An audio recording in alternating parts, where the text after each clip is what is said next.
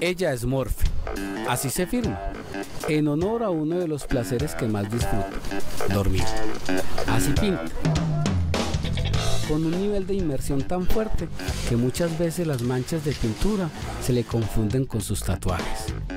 Su cara tierna contrasta con la agilidad de sus manos en el trazo. Aprecien ustedes.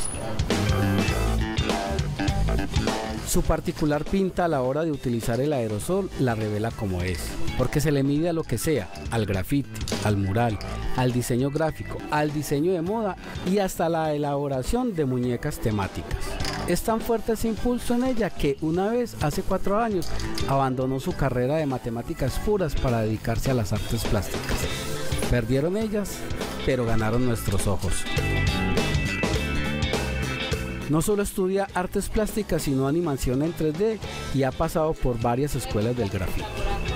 Todo ello le ha permitido una destreza en el arte figurativo, como lo muestra este rostro de una mujer plasmado en una pared al lado de uno de los tramos de las escaleras eléctricas de la Comuna 13 al inicio del recorrido del llamado Grafitur. Eh, yo representaba en el muro como una mujer cargando unas flores, algo muy delicado, muy tranquilo, eh, algo muy bueno, pues como muy, muy femenino. Es lo que quería hacer. Yo estoy renovando ese muro y, y antes había algo como más espacial, algo más de otro mundo, como algo más marciano. Morfe es una de las primeras artistas que inició la renovación de algunos murales de la Comuna 13 aunque antes hizo un trabajo de inmersión para pintar algo que tuviera cierta identidad con el sector y con lo que representa. Esa mañana que la acompañamos en esa labor nos explicó cómo despliega su arte. Fondea, monta colores oscuros para asegurar las sombras y luego los pasteles para generar el volumen que quiere.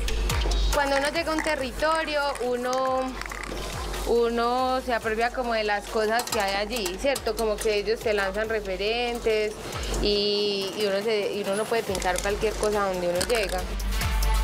Y para llegar a esta experticia, Morphy acude a sencillas y efectivas técnicas, como utilizar una falange de su dedo para asegurarse la mejor proporción.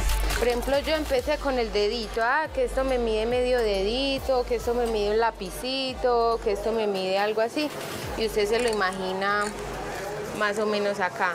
Al principio sí le da uno difícil con las proporciones, puesto que uno está acostumbrado a cierto tamaño real, pero yo digo que eso es como de, de práctica.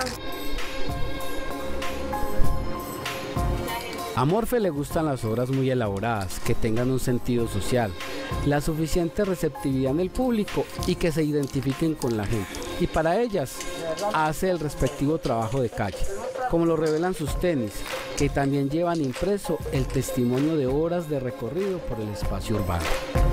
Desde hace rato quería, la verdad, renovar este muro. Eh, como cambiarle la técnica, el contexto, las cosas que uno pinta.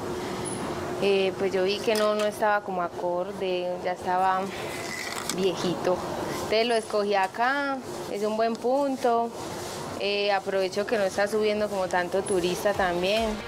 Morfe acabó así su obra, con una diosa adornada de follajes que la hacen ver más empoderada y la dejan como una guardiana de una comunidad que día a día se reinventa en sus propias esperanzas.